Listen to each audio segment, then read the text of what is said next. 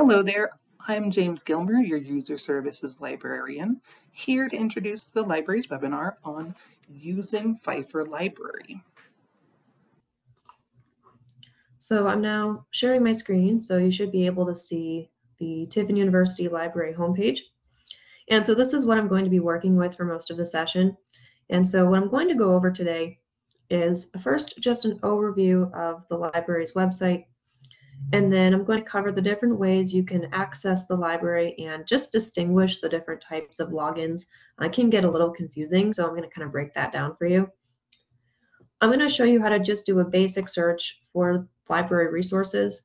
Uh, I'm not going to jump into very advanced search strategies, and that's for another webinar, for another session. But I'm going to show you a basic search and how to do them just for just an introduction. And then I'm going to show you where you can get research help and extra assistance if you ever have trouble accessing the library or have trouble with um, technical difficulties or anything like that. So if you want to log into your own account, your own library account during the demonstration, you're more than welcome to. And if you have any trouble, I can address any issues at the end. Um, so throughout this session, if you have any questions, there is a chat box located on the right side of the Blackboard Collaborate program and you should be able to put questions in there if you have any. I'm going to save those until the end just so I can get through everything. And then if I need to address the questions individually, I can. Um, and then in the meantime, if you're able to please just keep your microphones muted for everybody else so they can hear me, that would be wonderful. So kind of with those things out of the way, let's jump into the first topic for the session, which is just giving you an overview of our website. So what we've got here, this is the library's website. It is library.tiffin.edu slash home. You can also just type in Tiffin University Library into Google and it should be one of the first results if you don't remember that web page title. And so you can kind of see on the top of our page here, there are these different categories and I'm going to kind of go through each one a little bit here. So the home page is just going to take you to uh, this home page if you kind of feel like you're getting lost you can just click the home page. It'll take you to our home page. There is the About tab, which is going to give you an explanation of our, our hours and events. It has information about our staff, so myself and the director. Things about the library on the inside. So it has a breakdown of what's on the main level and the lower levels, as well as the upper levels. It also has information on how to reserve classrooms and study rooms. You can see that's also located under the study rooms tab and it tells you what's in each one. So the same things that are located on this About tab here, they're also located on the left. So they're just different ways you can navigate the page. So there's information about study rooms and things inside the library. There's going to be a page about uh, news related to the library. So it's, it's a blog, so we post to this pretty often. Um, you can see I posted earlier about the upcoming webinar that we're doing right now. We also have our policies listed here in terms of circulation. So in terms of checking books out, checking books in, interlibrary loan policies, which is another uh, form of circulation, ways to get sources, and information about copyright, and terms of use. And then we have a page about our university archive. So our university archive is located in the basement of the library and it contains a lot of old materials relating to the history of the university. And so we have some pictures actually here of some of the items that are in it. So if you're ever interested in looking at some of the items or learning more about the archive, uh, feel free to check out this page or uh, you can always contact us and we're happy to answer questions you might have about anything down there. So that's what's on the about the about page. So the next thing I'm going to go to is the find tab. This is going to give you the links to search for different items, such as uh, journal articles, books you might need for a class. It also takes you to our list of databases. So right now we have 194 databases, and this is really going to help you with conducting research for classes, especially if you need them for an assignment, um, like a research paper or an annotated bibliography, anything like that. Um, you're going to want to definitely go visit our databases page. We have a link to our research guides, which provide research help on a variety of topics. They're down by subject, so you can always check those out at your leisure, depending on what you might need. And then we also have a page on course reserves. So this is more for faculty and staff if you're teaching a class. Um, it's about reserving materials for students to use in the library. So if you have questions about that, you can always reach out to us as well. So the next tab is services. Again, it has information about book borrowing and interlibrary loan, very similar to our circulation policies that are located under the About tab. So it has information on borrowing privileges, what your library account is, and I will show you what that is and kind of jump into that in a little bit here. Fees and fines, uh, course reserves again, and then where to get extra help. We also have our services categorized on this page uh, for different types of students. So if you are a campus student, you would want to check out the campus students link. It has information on different things on campus, like reserving study rooms in the library. We have three group study rooms and then a bunch of computer carrels and also free printing. And then there's also a link to conduct research in Dragon Quest, which is our primary database. And I will do a sample search on that in a little bit here. And then of course, if you're an online student, there is an online students link. And there's one for doctoral students, as well as faculty and staff.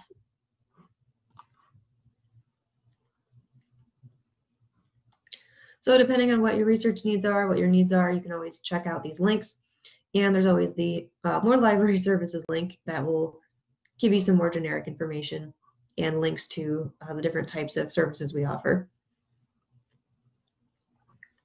So the last one is the help tab, which gives us the frequently asked questions page. We get a lot of questions about certain things, and so we will put a lot of those questions that are asked a lot into our frequently asked questions. Resource access was just a kind of information page on how to access different resources, things like that. A link to our research guides again, which are also located on the Find tab. So it's the same, the same link. We just put it in different spots. There is also a, link to getting research consultations and where to contact us.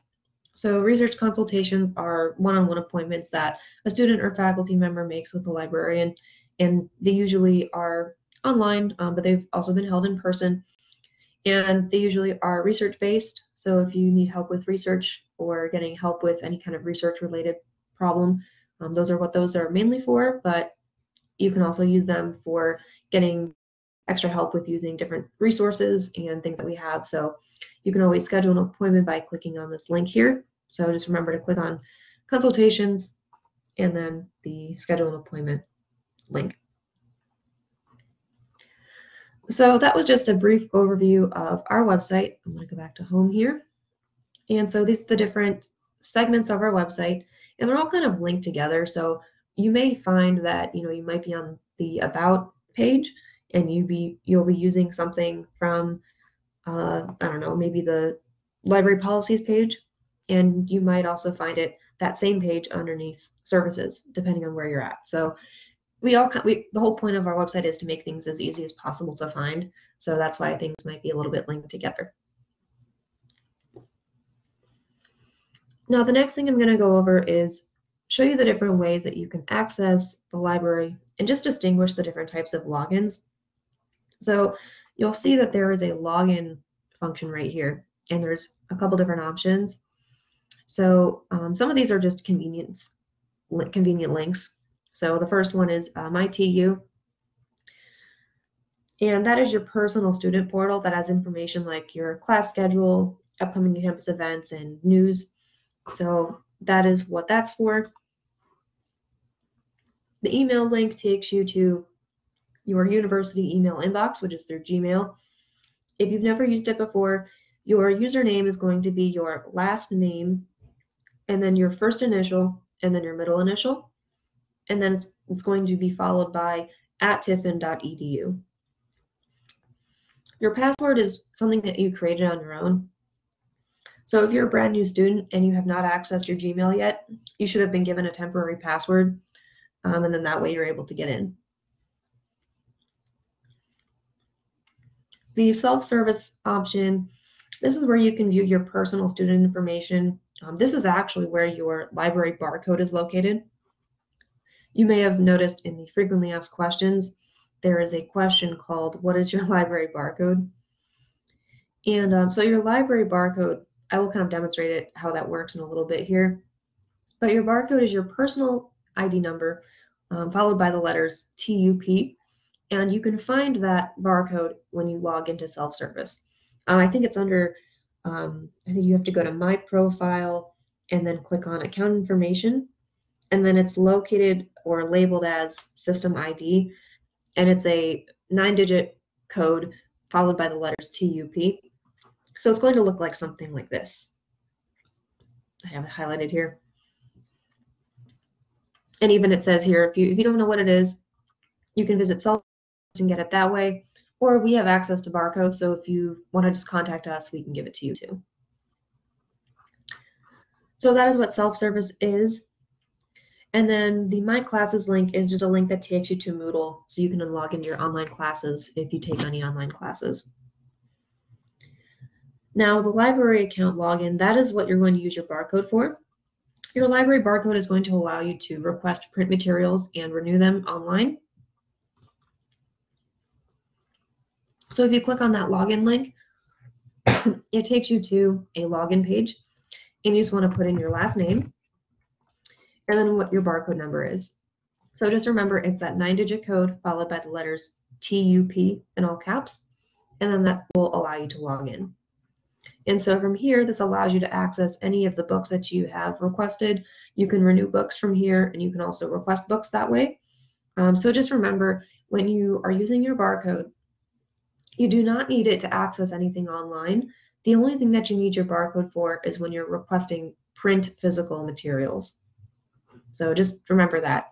Um, so don't worry about having your barcode if you're an online student and you only want to use online sources. You don't need it for that.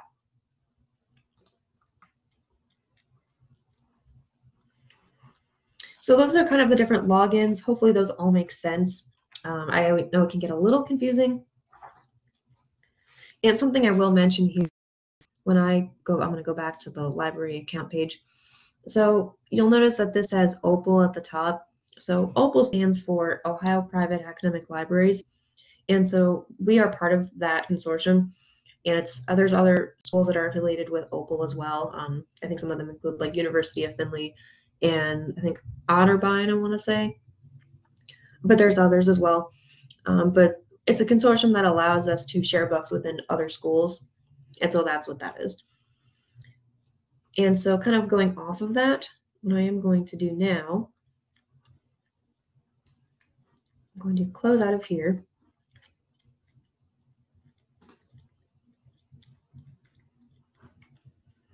And kind of going from there, segue into how to locate sources. Um, because I was telling you that your barcode is required to request print materials, but you probably don't know how to request print materials or might need a refresher. So I'm going to jump into that. So when you need to look for any kind of library materials, whether they're print, online, or anything like that, you're going to want to use this search bar that's on the homepage. And this is Dragon Quest, and this is our electronic catalog. And what it does is it combines print and online material from not only our campus, but also other Ohio Link libraries that are located throughout the Ohio, and other various individual resource licenses that we have purchased for the library. So basically anything that you would find in text format is going to be located in Dragon Quest. So you can get to it by going to the home page, or you can also get to it by going to our databases page. And then if you go to the letter D, Dragon Quest is located there as well. So to do a basic search, you can use this search bar here, or you can also search for specific sources by using these tabs. This will allow you to search for journal articles. This is for searching for books only um, through OhioLink. So if you aren't aware, we are an OhioLink affiliated school. So that means any books that are at other schools that are also part of OhioLink, you can also request and have access to to get sent to this library for pickup and to be used. So that's a really great resource because it really opens up the amount of materials that you can use. There's also a journals tab, so you can search for journals. And then there's also a tab for our research guides list. So I'm just going to go back to Dragon Quest for our demonstration here. So I'm just going to do a basic search. And basically what Dragon Quest does is it basically searches all of our databases for whatever you type into this search bar. So it's really nice because it kind of gives you a sense of what we have. The only downside is that it can be a little overwhelming because there's just so much sometimes. I'm going to do a very generic search. And before I hit the search button, and you may want to do this as well, you can also select one of these to categorize your search term. I'm going to keep keyword selected, but you can also search for a title by selecting this, or search for an author's name by selecting that one. But I'm going to go ahead and just keep this as keyword and hit search.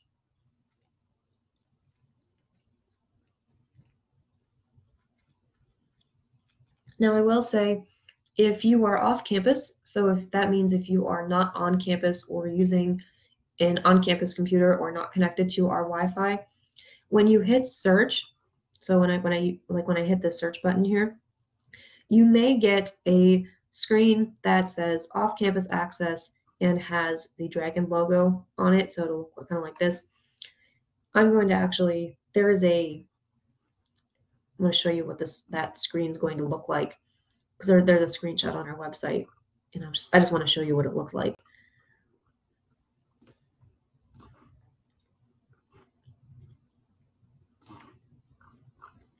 Here it is.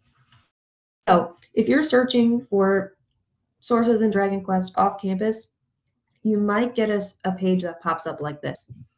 And so the reason this happens is because you're not on campus, so the database doesn't know that you're a student. So what you're going to have to do is log in with your username and password, and it's going to be the same credentials that you use for any other platform that you use at Tiffin. So if you use something for Moodle, it's going to be those credentials. Your password should also be the same. Um, so in my case, um, my username is basically my email address without the at tiffin.edu on it, and that may also be the case for you. So I did want to mention this just because I know there's a lot of online students that may encounter this. And so if you get this, it's, it's not bad. Um, just You just have to log in with your username and password from Moodle and you should be good to go. But if you do have issues, you can always let us know and we'll, we'll figure out what's going on. So kind of going back to our search here, once you get that login taken care of, you'll get your search results. And so when you get these results, um, I searched for something very generic, and so we've got a lot of results, uh, about four four million here. Now there's ways to take take that number and shrink it, and you can do that by using these filters on the left side. And what they do is they apply different things to your search terms, and so it'll shrink this number to make it a little bit more manageable. Some of the most commonly used filters that I'm going to recommend um, one of them is going to be the full text filter. That's going to take out anything that's not full text or available with full text. And so just by clicking that one button, we already took out about a million results. The scholarly peer-reviewed journals filter is always also going to be very helpful because it's going to take out anything that's not peer-reviewed and you're probably going to need peer-reviewed sources for an assignment in a class at some point likely your DEC classes will require this. So you will definitely want to use this because it makes it a lot easier. You can also narrow your search results down by publication date by inputting a date on your own or by using the drag bar to change the date. You can also narrow things down by source type. So if you're looking for a specific type of source, you can go to show more and check off the ones that you're interested in. So I'll do I'll do books, electronic resources, and journals.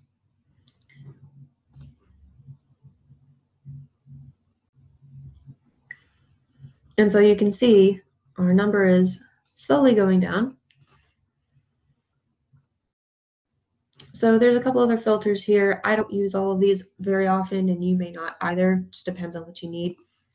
Um, there's a subject filter you can apply as well.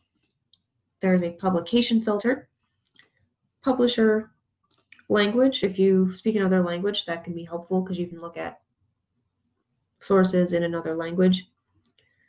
There's also a filter for geographic location and database. Now, if, if you remember, I mentioned that Dragon Quest combines all of their databases together. So what this does is it shows you how many of your search results came from which database that we have. So this is also a good way to narrow your search results down. Depending on kind of what your subject is or what your topic is, this may also help kind of get rid of the stuff you don't want. And you'll kind of see we have all sorts of databases, as you saw probably from our list that I showed you earlier, but there's all sorts listed here as well. These are just the ones that were retrieved from the search terms that we put in at the top.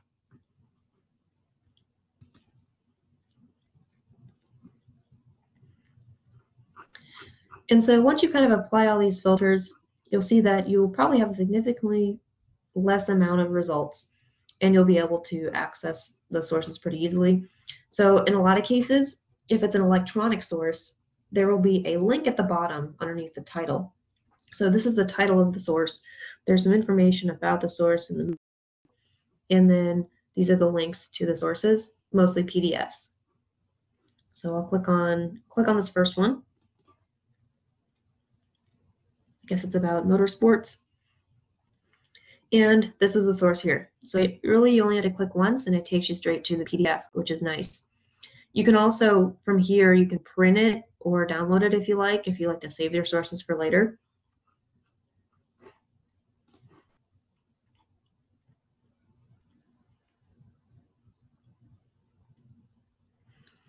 And then you can also click on these links, which are they're this they're a little different. You'll see that it says full text via Ohio link rather than PDF full text.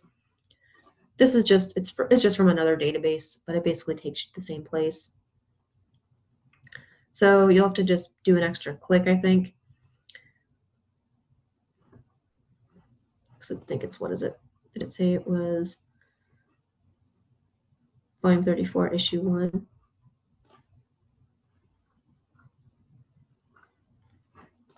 And the title was Ravensland.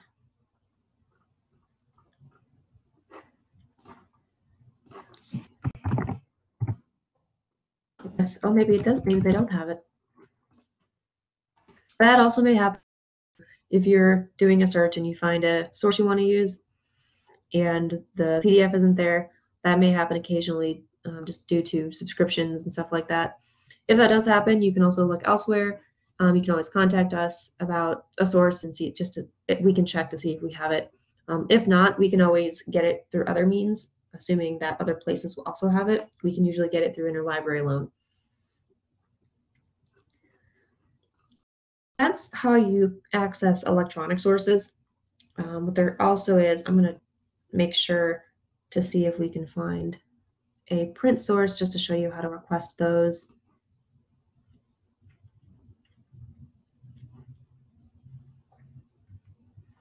So if something is in print, you're going to see a green request button down here. And it's going to show you a list of different locations that have the item available. So this one, for example, has two copies at Cedarville University. And you can click on the green request button to request the book to be sent here. So it's going to ask for your school. So you just want to scroll down and find Tiffin. And then it's going to ask for your full name.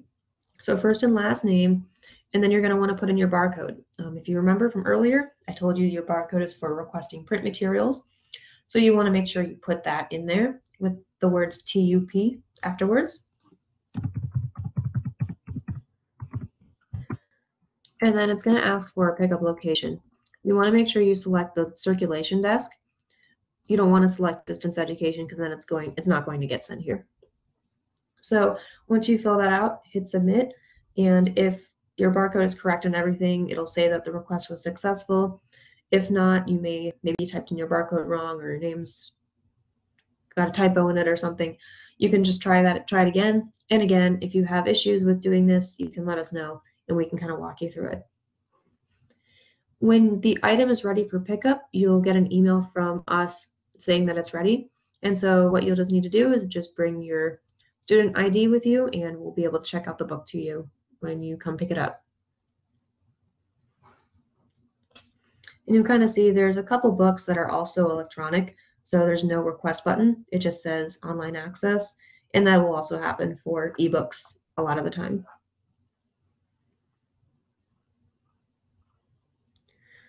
There may be some instances with print books that we actually own the book. So if that's the case, instead of it saying um, Cedarville University or wherever it's located, it's going to say Tiffin, Main, instead of um, whatever wherever the location is. And if that's the case, you're going to want to write down the call number just on a piece of paper or something, and you're going to want to go locate it in our stacks because um, you aren't able to request those since you're on campus and the book's already here. So you'll just want to go find it in our stacks and then bring it to the front desk and we can check it out.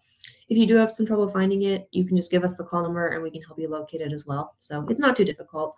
Um, but like I said, if it's something that we own, it will say Tiffin, Main, and the call number will be here. You just want to write it down and go find it in our stacks.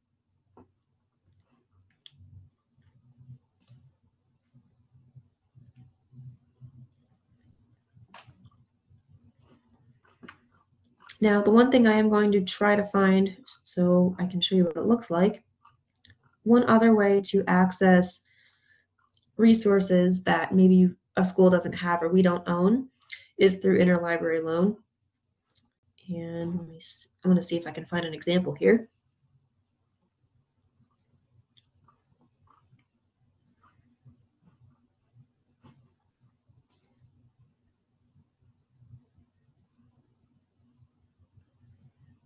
May take me a second to find something.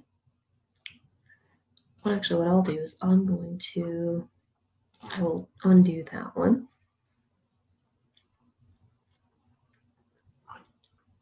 Here we go.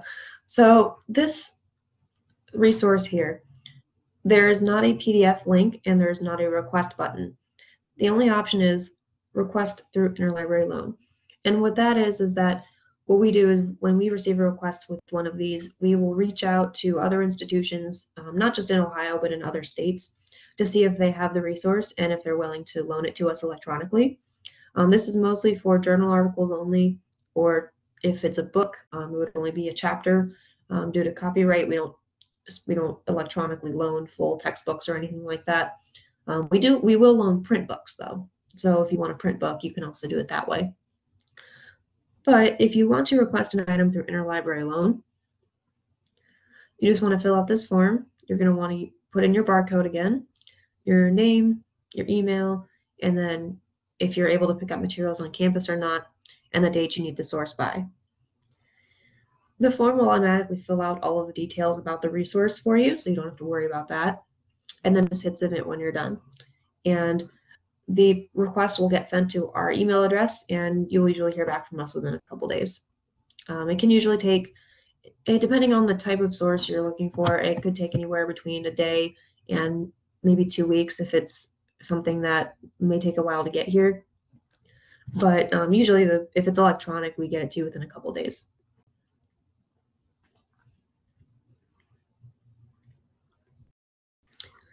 So that was kind of an overview of doing a basic search in Dragon Quest. Now I will show you, I won't go into detail, but there is an advanced search option and you'll see that it's kind of located up here. And you'll see there's more than one search bar. So it allows you to look for more sources and look for more search terms for more complicated searches. So like if I have American history in the first box here, I can also type in and it will add that to my search terms.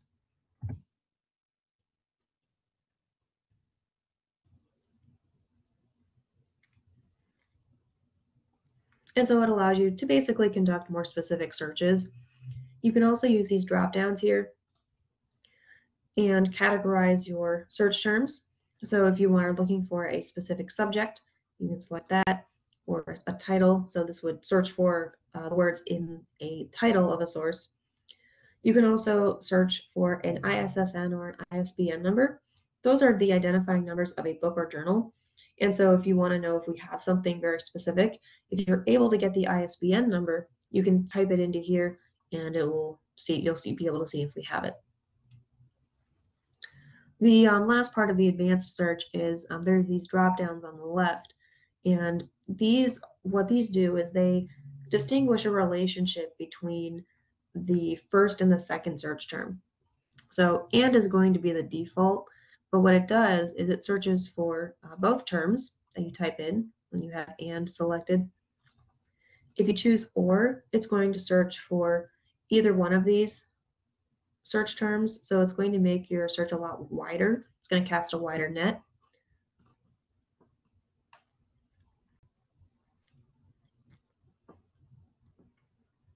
You can kind of see our amount of results really jumped up there. And then if you choose not, it's going to exclude whatever second term you put in here. So like if, if I'm doing research on American history and I'm getting a lot of results about Canada for some reason, I can change this to not, put Canada in here, and it should eliminate a good chunk of the sources that maybe I don't want. And so you'll see the number of results changed there. So that's kind of just an overview of the advanced search function. Um, I didn't want to jump into it too much just because this is very much an overview of the library and how to do different things.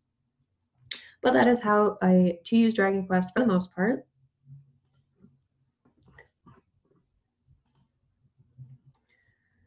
Now, like I said, Dragon Quest is a great place to start, but you can also search all of our databases individually. You can do that by visiting our databases link right here and it gives you a list of all the databases we have. Now, any of the databases on our list that have the word EBSCO right here underneath the title, that means it is going to look very similar to how Dragon Quest functions.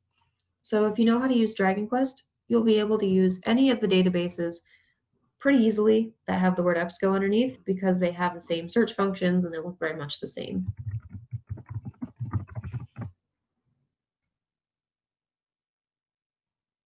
So you'll kind of see I this is Academic Search Complete, which is one of our databases. It has the same exact filters and links to the sources that are in that database. Now, not all of these are going to have EBSCO underneath, so you may need to learn how to use a couple databases if you do search for different things. But they're usually pretty easy to figure out. Um, once you kind of get the hang of it, it's, it's not too not too bad.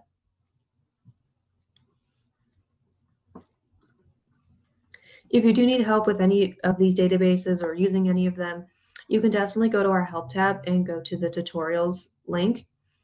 And it's going to give you a list of a bunch of tutorials that we have that can help you with using any of the databases we have. So we've got on how to use Dragon Quest, like I kind of demonstrated here. There's a guide on how to use um, Grammarly, if you use Grammarly at all for, for writing. There's one on Noodle Tools if you need to tools for assignment or for citations, and then there's others listed as well. And so what they do is there's different types of um, help screenshots, there's videos, there's instructions, like step-by-step -step instructions. And so the point of these guides is to really help you um, in the event that you can't contact us or you need help right away. We want we, made these guides with you guys in mind so that you can access us and our sources 24 7 and you don't you don't need to be on Canvas to access these, but they're just really helpful in terms of learning how to do different things and learning the ropes of using the library if you're brand new to it. So kind of with that being said, if you do need extra help, if you think one-on-one -on -one help would benefit you, you can always make an, an appointment with one of us and we're happy to help. We'll set up a time with you and we can walk you through some things with whatever you need help with. And if you want to look at any of the content from today's session, we have a guide associated with um, this webinar, and it's located under the research guides link.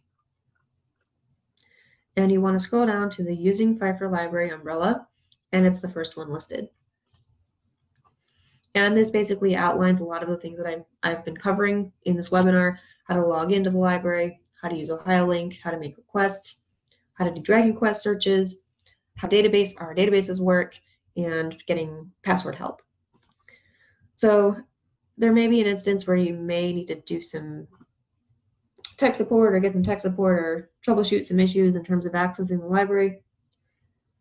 If that does happen, you can always uh, email us. Our email address is library at tiffin.edu.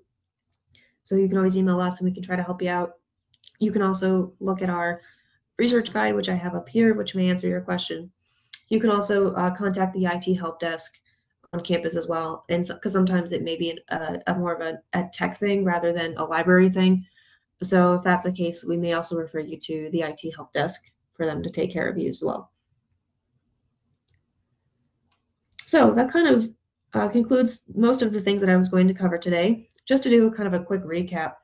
So the first thing is obviously um, your library barcode. You want to make sure that you know that. Um, write it down, keep it somewhere safe, don't lose it. But what it does is it allows you to access our catalog and request print materials, including items in Dragon Quest. And remember, when you are searching Dragon Quest, you may get that off-campus access screen when you're trying to do a search. Remember, it looks like this. You don't need your barcode for that. You just need to use your Moodle credentials to log in. Um, everything before your um, the at symbol in your email address, and then whatever password that you saved for Moodle. So you'll have to just use that to access that, and then you'll be all set. Um, also, a good thing to remember is the databases. EBSCO means that it has the same search functions as Dragon Quest, so it might be easier to use. And then all the others, you'll just have to kind of learn as you go. But we have some tutorials, like I mentioned, that can help with that as well. So if you ever feel kind of lost, you can always check out our tutorials, check out our research guides. We have so many of these that are meant to help you. They're categorized by subject. So I hope that these really help. Um, that's why we make them. And so that way you don't have to contact us for every single little question that you might have. Um, we like to make these so that you can get easy answers anytime that you need them. Hello again. James Gilmer, User Services Librarian, here at the end of the webinar just to give you some resources for additional help should you have questions as you work on your research and other assignments. You can always email the library directly at library at tiffin.edu and Luann or I will typically get back to you that day during the 9 to 5 Monday through Friday workday or on our next business day for questions that fall outside of those hours. You can also contact me directly if you prefer at gilmerjm at tiffin.edu. I monitor both of those inboxes and get to questions as quickly as I can. For more generalized help, check out our other webinars, research guides, and tutorials that are linked in the description below and on the library's homepage, library.tiffin.edu. Thanks again for watching and good luck with your research.